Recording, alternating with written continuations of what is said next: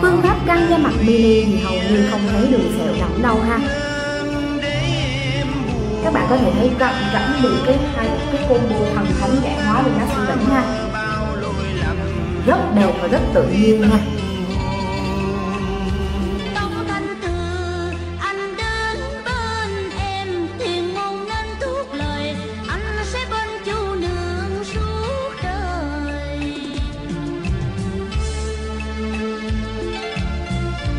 Đường khâu của phương pháp nâng cung chân mày hầu như là rất là dễ và nhỏ, mang tính thẩm mỹ rất cao nha các bạn.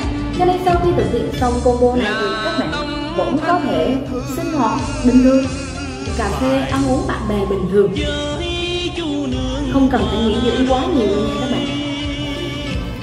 Thì đây là combo nâng cung chân mày kết hợp với căn da mặt mini dấu sẹo các bạn đang theo dõi, ai có nhu cầu thì có thể để lại số điện thoại hoặc liên hệ trực tiếp với số 0905 388 576 để được gặp bác sĩ Vĩnh. Khoa phẫu thuật thẩm mỹ bệnh viện trợ rẫy tư vấn nha. Cảm ơn các bạn đã theo dõi buổi quay ngày hôm nay. Hẹn gặp lại tất cả các bạn ở buổi quay sau.